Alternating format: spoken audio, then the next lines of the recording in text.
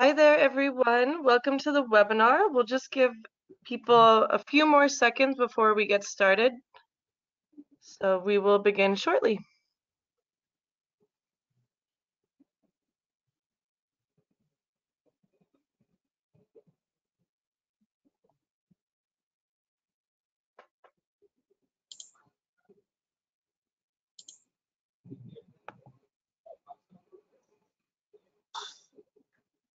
All right, so hello, welcome again. My name is Jenna and I work for Emerging Destinations.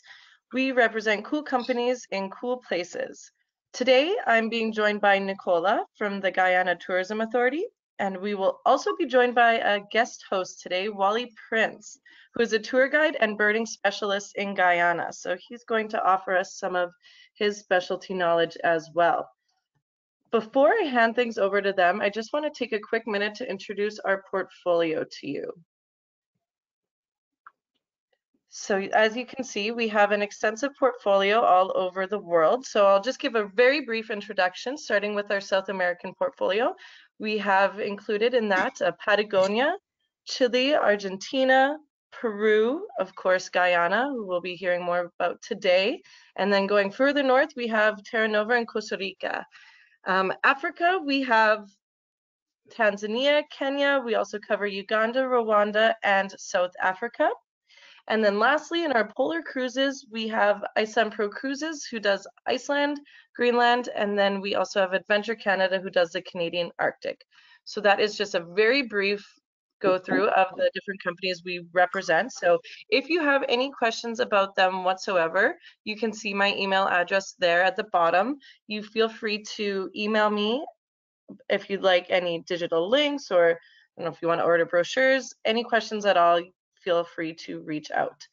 A couple housekeeping items to go over before we get started. This webinar will be recorded, so if you have to step away, take a call, anything like that, don't worry. We will be sending the recording out to everyone later this week. Also, we would like to encourage everyone to participate. So please, if something comes up during the presentation, whether it's a question, a comment, you can send that over to us using the GoToWebinar control panel located on the right-hand side. Nicola will answer any of these questions at the end of the session. If not, we will make sure to send the answers to you in our webinar follow-up. So on that note, I'm going to hand things over to Nicola and Wally, who are going to talk to you about Guyana, a birding paradise. Thanks, uh, Jenna. Hi, everyone. My name is Nicola Balaram from the Guyana Tourism Authority, and I am joined by local guide and birder Wally. Hi, everyone. Hey. Um, like Jenna said, we will be talking about birding in Guyana. We actually do have a video to start off with. I don't know if um, Jenna, can you assist and let me know which button here plays the video?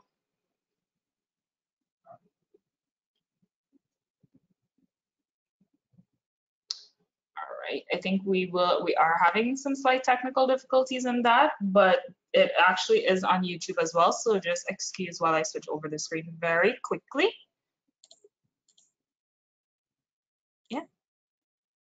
Here you go. The emphasis now over the past few years in Guyana has been leaning more towards birding tourism a lot of people are coming now because to see birding Guyana is off, we call off the beaten tourism track. Um, it's a new frontier. We actually have, in terms of birds, we have over 900 species of birds and over 70 species that are Guyana shown endemic. Some of them are easy to see compared to neighboring Guyana shield countries. Guyana is indeed unique in terms of birding because of the diversity of species you go on a birding trip and there's, you know, there are many other mammals that are present. So there are many species that can be observed over the period of time that you are in Guyana.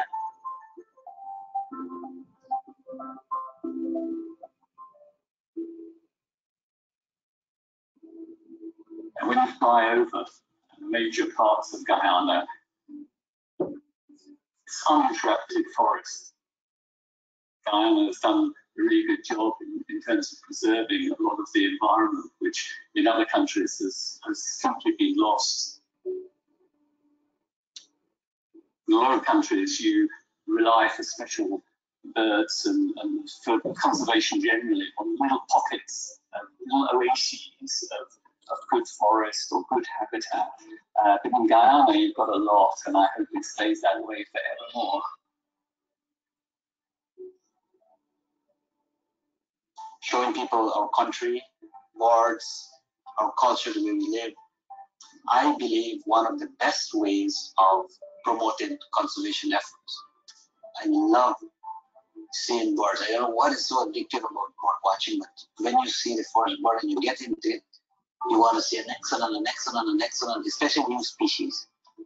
And the more difficult it is to find, it makes it more interesting. You, want to go challenge it. Every unique birding trip that we run in Guyana must see the sun parakeet. And that's why we go to Karasabai.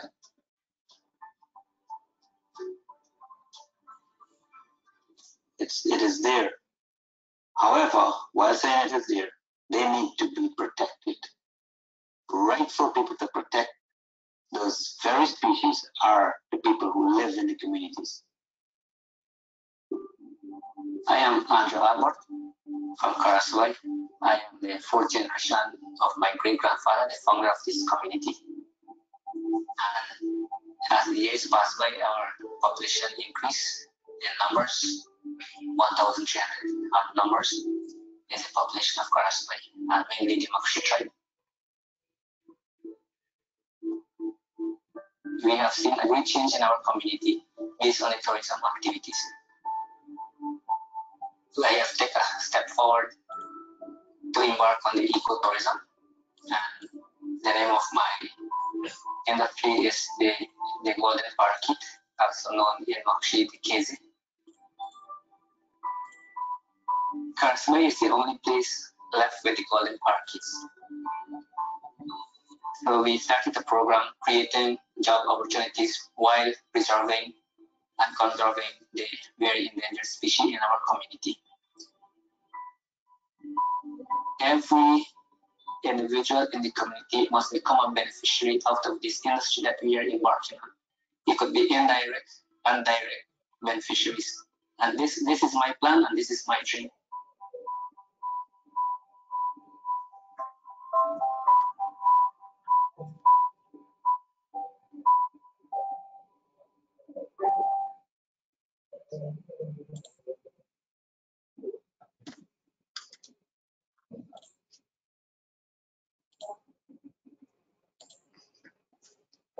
Thanks everyone for looking at that. Um, so the very first person to be on that webinar is actually Wally, who is our guest host today. Um, this webinar is going to be in about two or three parts. So the first part will just be some general information on the destination, things about where it's located and where you can find it and some of our key highlighted areas. And then I'm going to turn it over to Wally to go in depth about everything we have to know about birding in Guyana to the key highlighted areas and some of the specific species as well. So this webinar will be done between myself, Nicole Balaram, and Waldeck Prince, commonly known as Wally. Um, and in the middle, there's a map that says about the key important birding areas that you can find in Guyana highlighted in the highlighter green. So Wally's going to be going through some of these specific areas and the species you can find here as well. Guyana is a rare kind of place, one where you can still find nature in its original form, and sometimes we like to call it nature's beating heart. It's a small South American nation located just below the Caribbean Sea, above Brazil, and sandwiched between Venezuela and Suriname. And it's the only country in South America where English is the native language. This means that even our indigenous peoples here also speak English, and you can have a full conversation with them on your travels in English getting to Guyana. Well, we know that flight connections are not um, going right now and travel is not recommended under the current circumstances. We thought it'd be good for you to know how to get to Guyana with airlines currently serve and any potential new ones that are coming up in the next year. So some of the major airlines that serve Guyana are Caribbean Airlines, Suriname Airways, Copa Airlines, Liat American Airlines, and you can also get connections with British Airways, Virgin Atlantic, um, to Europe as well. American Airlines has direct flights from Miami and JFK in New York four times a week. Um, they started flying from Miami in 2019 and JFK in late 2019 as well. Eastern Airlines had planned its service from Guyana in early 2020. However, that has been pushed back and they have not shared a date as mm-hmm. yet. But JetBlue begins service to Guyana in October 26th of 2020 as well. And this is going to be about four times a week also. Once you're in Guyana, there are three main modes of transportation. You're gonna travel around through some of our rugged terrains in vehicles, um, in the coastal and city areas as well. That's the most common type. Um, you're also gonna travel with jet boats and smaller boats in this on our many waterways and small planes to get to some of the interior and rainforest locations of the country it's great to know about the country and how to get here, but what is the tourism experience? So we like to categorize it into five main areas. Um, however, it is important to note that any time you do have an experience here in Guyana, you are more than likely touching more than one of this area or even all five at the same time. So Guyana is known for its nature and wildlife experiences, active exploration or adventurous experiences, our culture and heritage, which combines our different races, events, um, historic sites, birding, which this is focused on, and a lot of work in our conservation and SAVE travel space. SAVE meaning scientific, academic, volunteer, and educational travel. 90% of the population lives along the coast, leaving much of the country's interior locations untouched and ready to be explored.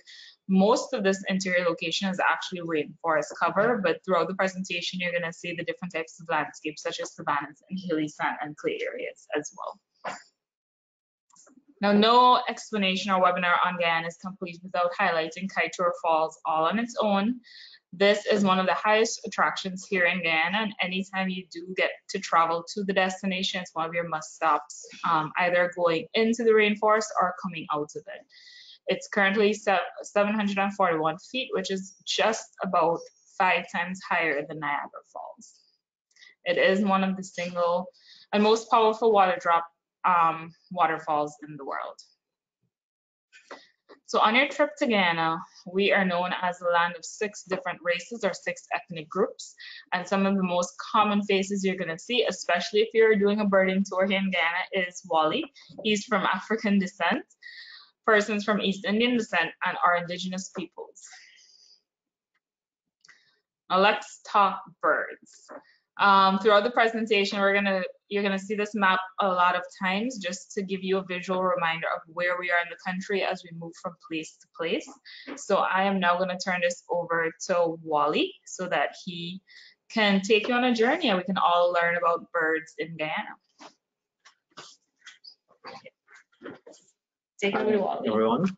I'm Wally Prince, and welcome to Guyana, and welcome to some of the Guyana birds. Um, we have over 820 species. There um, that covers over 70 families of birds across the entire Guyana, from the the coastal parts. We're talking about the mudflats and the migratory birds, which are some of the more popular ones that would be in groups like sandpipers or plovers or such, and going right into the interior or southwards to the bottom of the Guyana map where you will have um, from tepuis to mountain species and such. So in terms of the best times to visit will be from September to December, January to late April. And most of our, as you know, most of as birders, most of the activities generally for wildlife in general um, happens early in the morning into mid-morning when it begins to get hot. So that's when most visitors will get you know what we call a siesta time and then it picks activity picks up back again at around 3 p.m and goes into sundown and then into the early night for owling and um, other nocturnal birds night jars and nighthawks and such um, areas for birding there are several main what term as biomes or ecoregions we have from rainforests savannas um, the white sand area, which we call it the hilly sand area, so the white sand area, and um, clay being more coastal. And then you have the coastal plain itself, with um, which would incorporate the mangroves and some of the plantation habitat secondary growth, which would include Georgetown and areas like Mahaic and, and Abary rivers and, and several other um, unique areas along the coast, including um, islands in the Essequibo River. Um, there are many birds to see. As I said, over 800, you know, even 20, pushing 900 plus such species. And um, some of the key ones are that are distributed across the country. Uh, on the coast, we have our national bird, which is a Hoatzin, which the local or Guyanese name is called the Canje pheasant. So that's a bird on the coast itself. Um, and as I said, is our national bird. We also have a bird that would have near, it's a Guyana shield endemic. It would have nearly been a Guyana endemic if it wasn't found, if it um, included Suriname, but it's found both in Guyana and Suriname, the two places. And that bird is called a blood color woodpecker. It's one of our smaller woodpeckers that are more coastal restricted. Um, then they're in our botanical gardens, there are over 200 plus species. So we're talking while you're in the city within what a five minutes um, taxi ride or maybe even a 50 minutes walk, depending on which hotel you're staying at. You have the botanical gardens where on average in the morning, spending an hour and a half there in the afternoon, you can easily get several dozen species of um, birds.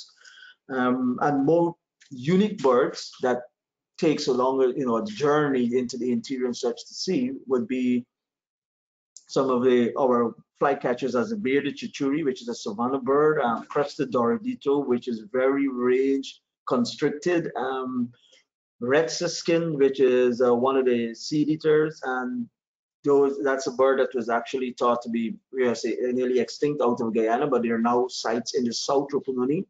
So we talk about the southern part, southern savanna part of the country where you can find that bird. Um, you also have some other specific ones along the Guyana border with Brazil along the Ireng River, which is birds as a hoary-throated spinetail, and we also have the Rio Branco antbird that comes till up into there. You have along that same area, not too far away, the sun parakeet is one of the other birds there. Going to, so in the video, going to Kaieteur Falls, and actually within the Iwokrama area and such, you also have the Guianan cock of the rock, which is a different color plumage from the Andean or Peruvian Peruvian cock of the rock. Um, we have both the black curassow and the crestless curassow, or what they call lesser razorbill. And the crestless curassow is a more savanna-specific bird. Um, you have some of the more common species and many with the name Guyana inside as Guyana warbling antbird and Guyana streak antwren and Guyana red cotinga, Guyana toucanet. So all the ones with the name Guyanas are actually the Guyana shield endemics. Um, some other ones that are a little bit hard to see is brown colored flycatchers, olive sided flycatchers. And you can, um, in a way, many parrots and, and toucans, and also our largest raptor, the harpy eagle. We also have the crested eagle, which is smaller than the harpy and several hawk eagles, which are quite majestic birds in their own. Coming to Guyana, um, your gear or your kit, definitely you should include binoculars, you know, uh, decent binoculars. I would say something like a minimum uh, 8 by 35 mm. Um, if you can also maybe a small spotting scope or such. Um, you have your day pack, your I would say medications for any, you know, personal medication for yourself, um, sneakers or hiking boots, and also something like a Tevas, because some activities we do is going into lakes, so you don't need your hiking boots. You're relaxing in a boat for that sundown on the lake, looking at birds, looking at other wildlife as the sun begins to go down, having a sundowner, which which would be like you know the famous Guyanese um, El Dorado rum and such. So having you know having a sundowner, but having yeah having sneak um, sandals or comfortable footwear that you don't your foot doesn't need to be restricted into sneakers or hiking boots all day. Definitely a hat and sunscreen, um, light color clothing, light clothing. The Um, camera for sure. Yeah, camera for sure, sunglasses, sunblocks. Um, yeah, and yeah, those those would be your generally your, your overall, like I say, your package. The country in itself, and you mentioned about several biome types, and you have your rainforest type. It includes actually part of Kaieteur, so the Kaieteur area, and also Iwokrama and several of the lodges. Within the rainforest area, you have several lodges that includes the Iwokrama Lodge, which uh, within the Iwokrama forest, which is a million acres of land that has a canopy walkway, a very unique walkway of its type. Um, you have several community lodges by indigenous communities or what we say Amerindian communities, which are owned and managed by the, the communities or the, the indigenous people themselves. And the, those lodges are Surama Lodge, you have Warapoka Lodge there, like um, Rewa Lodge. Um, and so there are a few, there are several other lodges that are contained within the forested area. And we're talking about high forests, um, and understory birding, including mountain forest areas, would be a forested areas and such. Kaieteur National Park is again a very unique area um, in terms of not only having a single highest um, single up waterfalls in the world, but one of the unique things about Kaieteur is that it's one of the key areas in Guyana to see the Guianan cock of the rock. Uh, not a bird that you get there from time to time that likes the cliff area, the cliff area around the falls is the orange-breasted falcon, and that's a, a, bird that's big on a lot of birders lists in terms of in terms of um yeah having that ticked off on your on your list. The um rock being unique plumage and such, and for those of you who haven't seen the bird, or most people they get a chance to see why you call the bird cock of the rock due to its nesting behaviors and such. Um, and there, it's in the Cotinga family, and that's quite a large group for us in including the characteristic call of one of the rainforest birds, which is a screaming piha, which is a song that um, they even use in the Hollywood movies to, to um, give that indication of being in the in the forest. This is um, Atta Lodge is our canopy walkway lodge, and it's a hole in the forest. I call it a hole in the forest because it's not very large. It's probably just about hmm, maybe two acres. The literal hole is just so you have lush vegetation around you, um, fruiting trees along the edge, and that's where you get some of the unique birds. Even harpy eagle comes in at the edge of the forest there, so people can be dining in the area what we call a dining area, which is actually looking here would be the building to the right. And then one of the guys there would shout and oh, bird, you know, whichever bird it might be, such and everybody, yeah, stop eating. As I say, um, you know, spoons down and rush out with their binocs and cameras to um, take photos. And such you have animals that come into the compounds from um, tapirs and such, and deers, um, agoutis, uh, monkeys, primates, and such that comes along the edge. So Atta Lodge is unique as being it's being literally a hole in the forest, and anything can pop out into the compound or along the edge at any time. Flybys, flyovers, and such. Both of macaws, uh, macaws, parrots, toucans, and I'm using these general terms because there are several individuals in those in several species within those families that um, comes along the edge of the Lodge and many mammals. And that's a view of the canopy walkway. So we are right up there into the canopy. There are several sections that you can see out quite a distance or several kilometers. And um, we've seen birds including harpies in the distance, using a spotting scope on the platform of the canopy um, walkway.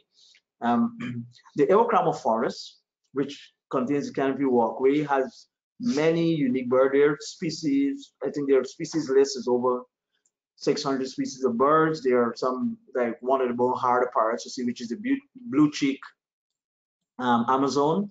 Then you have um, things like the rufous wing ground cuckoos. You have several species of macaws. You have, and many of the Guyana shield um, endemic is also found within the Iwokrama forest. And from there, we can we're heading further south into more open country, into more savanna land. So Surama, which was which is actually the first, um, which is indigenous owned community-based tourism product and, and lodge. It's an introduction into the savanna lands, and that's actually a community whereby the savanna is surrounded by forests. It's a it has both the high forest and also mountainous sections, but then with uh, river and lakes around in the neighboring, within the vicinity of the community, but also the community has this natural savanna land, and that gives you quite a diversity of um, of birds, especially some of the, many of the cotingas, birds in the cotinga family, including the capuchin bird, leks and such. Um, you have also a highly sought after bird, um, the rufous winged ground cuckoo. That's a, the only ground cuckoo we have here in Guyana. Um, several manakins and what Surama is known for more over the past several years is the harpy eagle, nesting harpy eagles. There are two active nest sites, one on the Bolo River and one in the forest.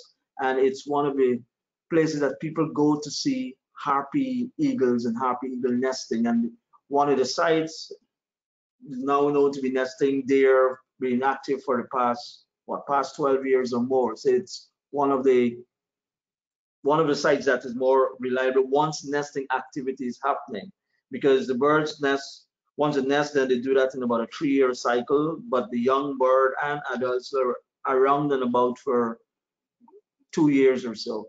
Um, it's our largest bird pretty quite a majestic um, creature that hunts on the canopy and even sub canopies it moves even below the canopy using emergent um, trees or very large trees as lookout points to do an ambush and to survey what you know survey spray.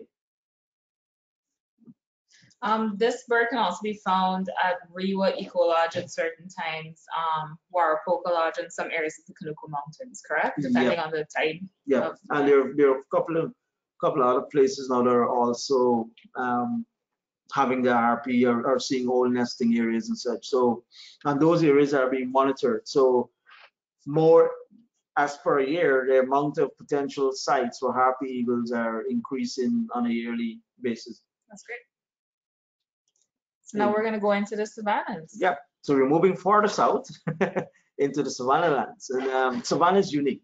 It's um, quite, it's much drier. So you're moving down the rainfall gradient, if you want to call it that. It's the more open grassy areas. The trees are more shrubby and such, and um, they are. It's more prone. The which is the lodges there are more. They're more cattle ranch style. They're so more ranch style lodges. They they have um, very good history and very good stories in terms of you know when- you're in your evening, you're talking to the staff and talking to your guides and you know your hosts and such. There are a lot of rich history within the savannah areas. Um, in terms, it's a unique. The savannah lands is very unique. There's a seasonal flooding that happens um, for about three months of the year. So it's something similar nearly to the Pantanal.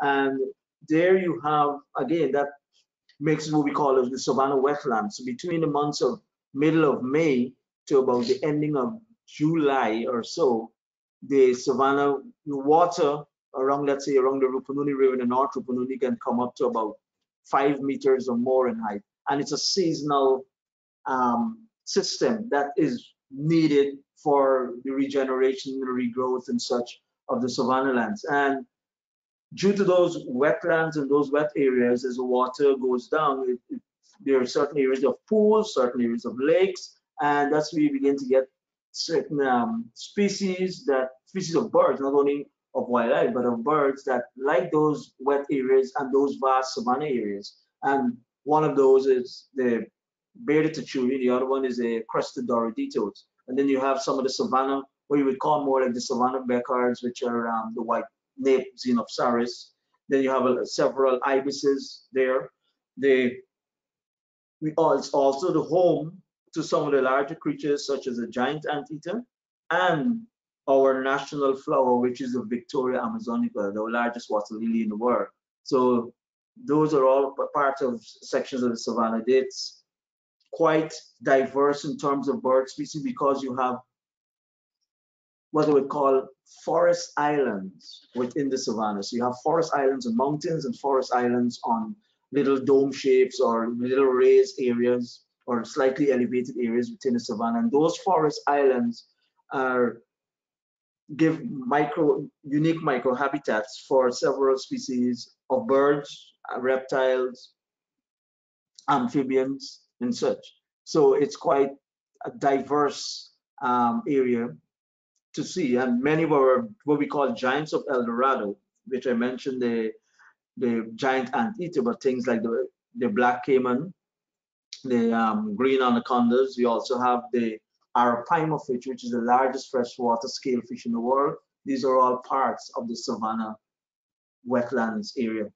And like Wally said, with those little patches of forest within the savannas, that's why we chose this feature area to to um, have the highlighted image. This is actually the village of Karasabai, and it's known for birding and wildlife spotting as well. But one of the biggest attractions here, and Wally will go a little bit more into it, is that it's also more commonly known as the home of the sun parakeet. Yep, the sun conure or sun parakeet, which is um, a very it's about a medium-sized parakeet or so. So medium-sized meaning about uh, 12 inches or thereabouts. Um, and as you can see there, that's the color. It's that's just the color of one bird. So you can imagine a group of two dozen birds together, you know, with they're really spectacular, really um, beautiful birds. And they are within Karasabai, which is actually one of our border communities, not too far off from the Guyana-Brazil border. And it's in a way part of the savanna lands and the foothills of the, um, the Pacaraima Mountains. So the only place in Guyana that you can actually see um, these sun parakeets is going to Karasabai. And while going there to Karasabai or within that vicinity, it also give you a chance to also look along the Ireng River, which is not too far away, but for the Rio Branco antbird and the hoary throated spine-tail, two other unique birds that only around the Karasabai area and between Karasabai and what we call um, the Lethem area, which is a section that going interior wise you would fly back to Georgetown. That bit of river and that bit of forest along the river, that's the only place in the entire country that you can actually get, let's say, these three species. So sun parakeet, Rio Branco antbird, and the hoary throated spine-tail. And this is a bird that was only I think rediscovered in the early 1990s.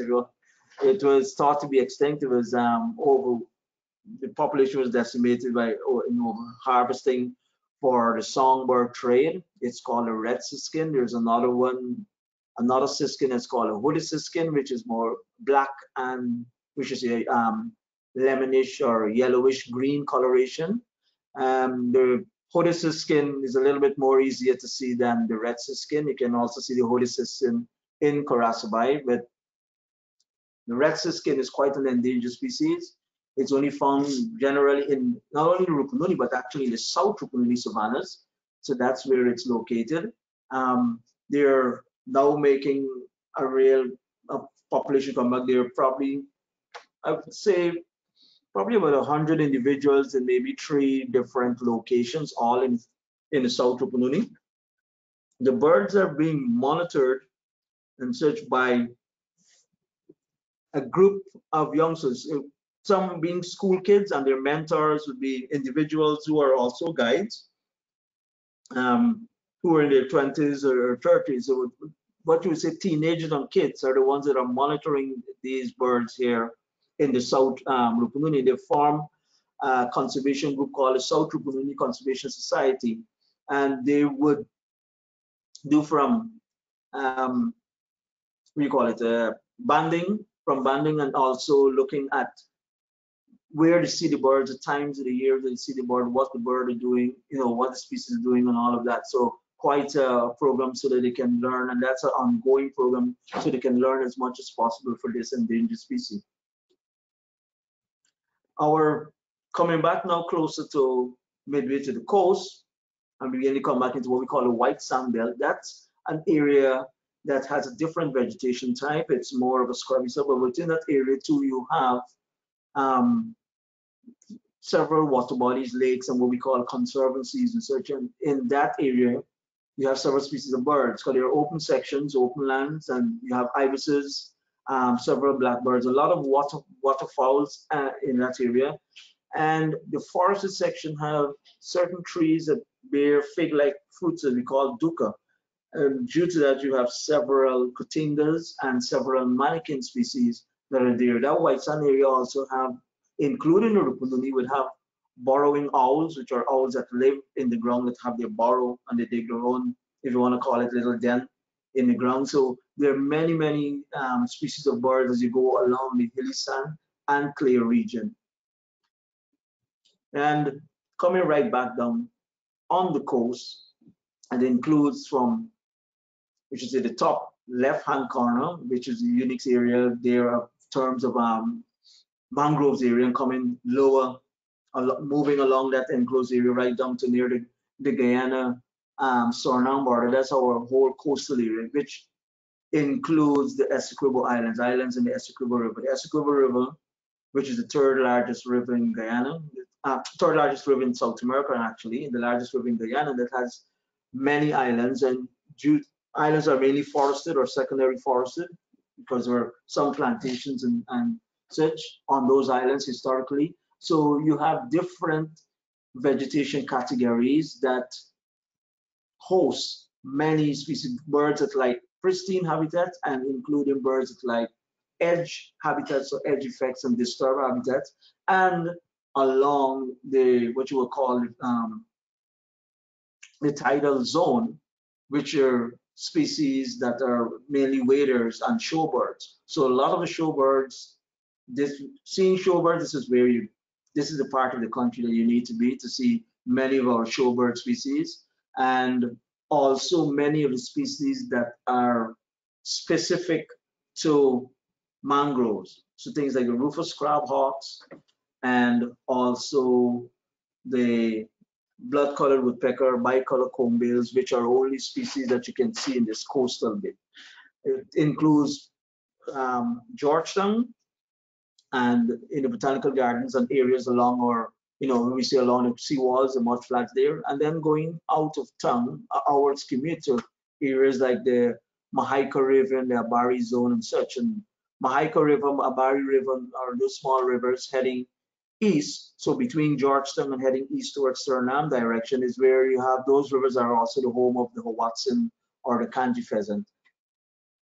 And that's the bird, our national bird, um, looking like, I would say like an Archaeopteryx, like a, a living um, fossil or living dinosaur. It's um, commonly called a Canje pheasant, gets its name combination two stuff, looking pheasant-like and based upon a location called the Canje River, which is a river east of the Berbice River. Um, it's uh, quite a social bird. It's very poor regulatory body temperatures. It doesn't regulate its body temperature quite like other, if you want to call it more recent bird or more recently developed, evolved birds and such. So Canje pheasants, they seeing this bird, you need to get to the site early. So as the sun comes up, the birds are out there opening its wing and warming up and feeding on leaf. It's a full fully folivore. It feeds strictly on leaves. And as the sun begins to get a little warmer, meaning like around 8 a.m. or so, the birds get back under the vegetation and go under cover. So they do not like a lot of sun. Um, so this bird is early in the morning or late in the afternoon after, I would say after 4.30 p.m. because we have a sundown. Our timelines are strict. We are, Guyana is very located just kind of like four to six degrees um, north of the equator. We have basically, it's a sharp sundown and a sharp sunrise. So on average, I would say 12 hours of sunlight and 12 hours of darkness. So you have those two hour and a half in the morning into the sunrise and the last hour and a half of daylight. Those are the two best times of seeing the Hoatzins. And some of our very um, sought after would be one, the crested Doradito, the hoary throated spiny-tailed and the crestless curassow. And these birds the one of the beauty Guyana is that once you're there in the habitat, once and what I mean by that, you're there in the general ecotones or the different regions or such. Once you're there in the environment, there are very, very good chances of you seeing um, these species. And one of the other things about us being again is that as you move from lodge to lodge, especially by boat or by vehicle, those transfer between lodges is actually an excursion in itself. So a lot of times, even though you you know your itinerary might say, um, yeah, it takes two hours to move from lodge A to B or an hour to lodge A, you know, it sometimes doubles that time because you can have anything popping out of the literally if you want to say out of the woodwork. You can be doing a transfer from um, the Atta Rain, the Canopy Walkway Lodge to the Surama Lodge and you know a cat or a tapir, any one of the big cats or even small cats. So we're talking about jaguars, um, puma, ocelot, or anyone that could come out onto the road. And that right away, everyone stops and you know stares and take out cameras and the kind of stuff. Or you'll be driving along and then there's a raccoon, and you look and there's macaws screaming. You stop to take a look at the macaws, and then the guy might turn around and say, "Oh, the reason the macaws there making all of that um, racket is because over there, look, perch high up in that tree is a harpy.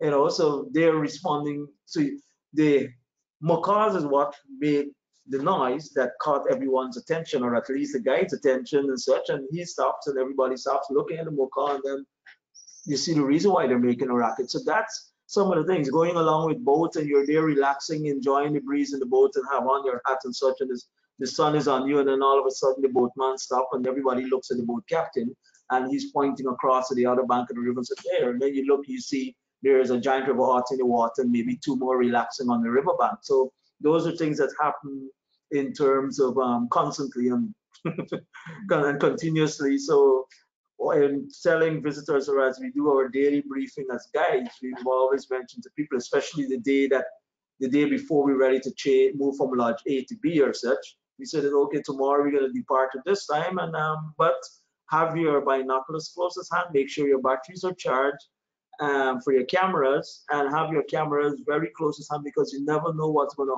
pop up or what are you're going to see around the next bend um and i know that it is a birding webinar but no trip to Guyana is complete without touching on some of the dishes that you're going to see here.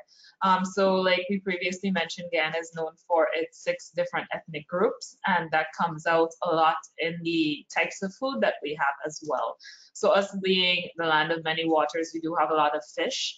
Um, so that gives rise to like seafood burgers or saltfish and bake, which is the bottom left-hand image here from our East Indian culture, we get a lot of different types of curries, and it is more masala and garam masala based as opposed to tomato based, like you might find in India. Um, one of the most popular dishes that come from our indigenous peoples is pepper pot, and the main area, the main um, the ingredient for this actually comes from cassava, which is one of their staple too. There is a version of it that is called tumapat that is made from the cassava water as opposed to the ground cassava that pepper's pot is made from. Um, some of our local operators here that focus a little bit more on birding tours are Evergreen Adventures. They do a very big focus on coastland um, tours. Leon Moore Nature Experiences, which is also another great birding guide like um, Wally himself. And some of the images that you've actually seen in this presentation are from Leon more specifically. Other photographers that we worked with were the Kester Clark, some are Wally's himself. Um, we have Ron Allicock Birding Tours and Wilderness Explorers, who is the only DMC here in Guyana and the one that Wally works as a freelance guide. He works very close with. Wally also works with some of our North American companies as well that bring on tours here um, that are more birding specific also. Just for some more information, you can visit our destination website at www.guyanatourism.com, which is the official destination website of Guyana. Um, to get more information on coastal tours for birding, you can visit evergreenadventuresgy.com. Wilderness Explorers, you can also visit them at wildernessexplorers.com. You can visit exploreguyana.com, which is the private sec sector sister agency to the Guyana Tourism Authority. Um, statisticsguyana.gov.gy, the official website of the Bureau of Statistics. Go Invest for tourism opportunities, investment opportunities in Guyana, and the official website of our main Cheddi Jagan International Airport at cgairport-gy.com. Um, before I turn this over to Jenna for any final questions, this is some of our team at the Guyana Tourism Authority. Um, for any other assistance for new operators and airlines, we provide key information, assist with coordinating travel related events, work on joint advertising, support farm trips.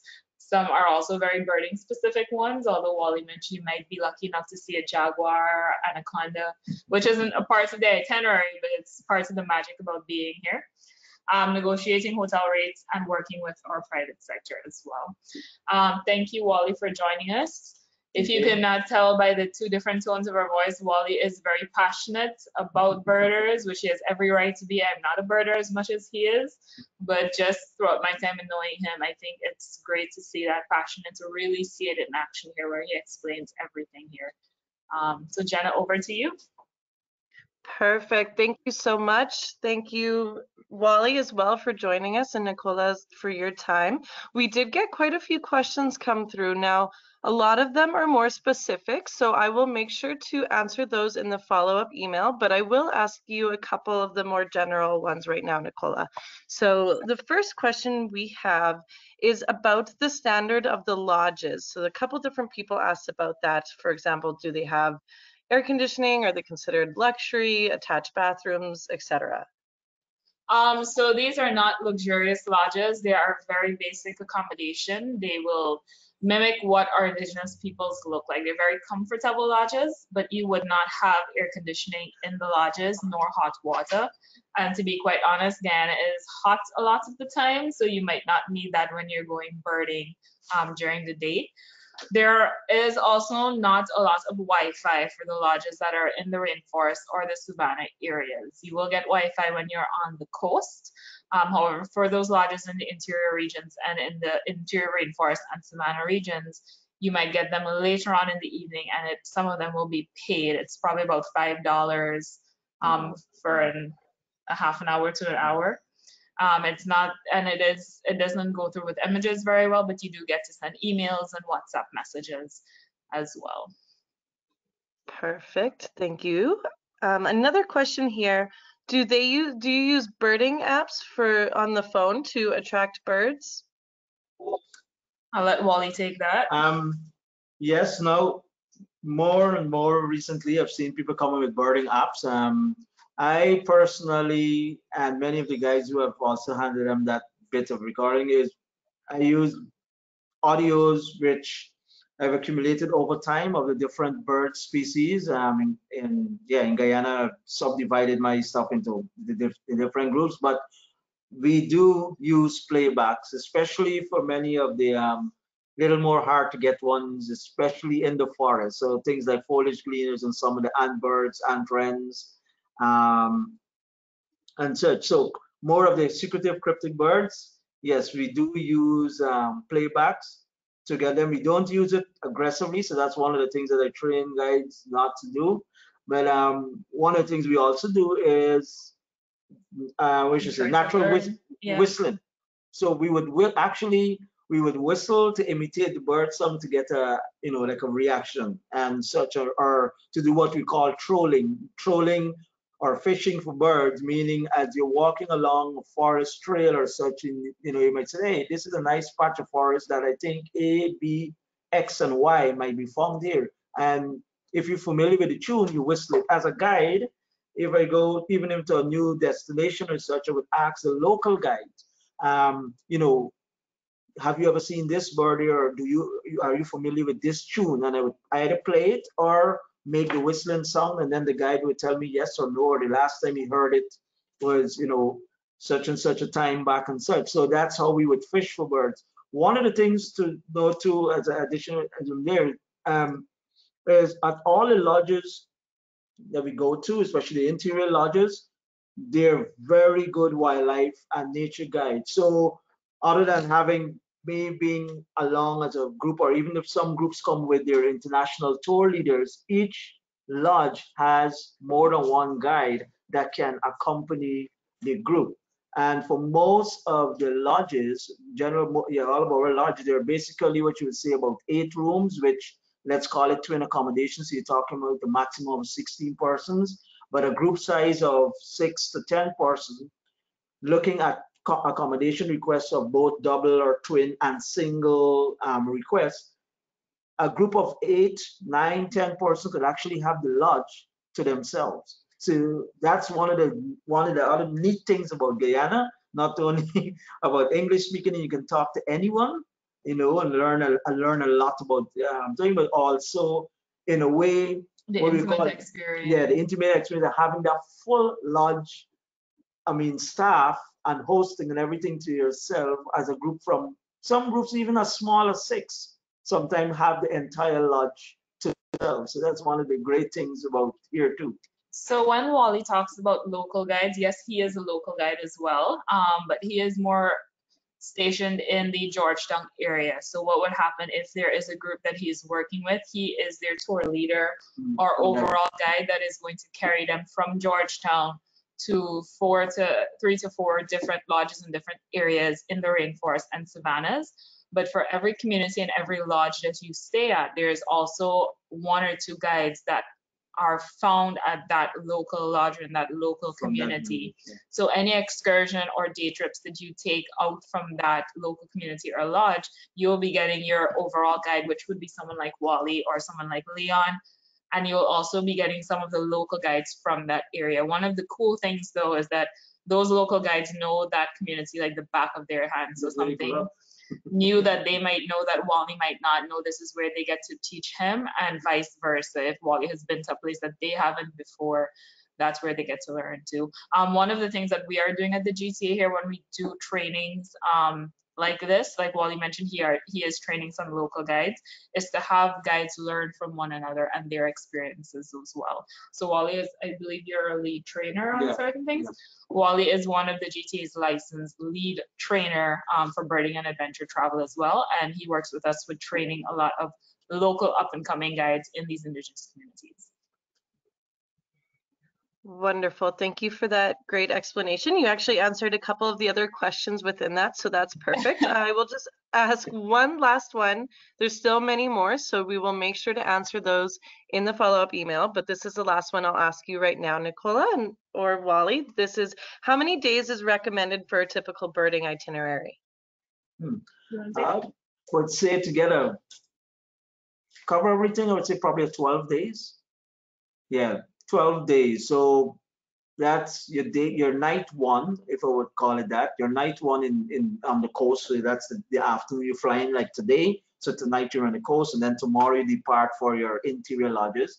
And then your last night number 12 or your 12th night back in the coast. So you arrive back to Georgetown today you spend tonight and then tomorrow morning in the wee hours or at 5 a.m. you leave the hotel to depart out of Guyana. So my recommendation would be yeah 12 nights, so 10 nights interior wise or or such or 10 nights full In the rainforest and and such. and um, your two night one and night 12 or your two final your welcome and your bye bye goodbye nights. So that's um, about um, 12 nights in country, and that does not include travel days. So if you are coming from the US, it takes, uh, depending on where you're coming from, um, all our direct connections from Miami or New York, it's the longest is about six hours. So you should add on another day and a half to two days to be your travel days to that, but that's 12 nights in country. Yeah. Minimum.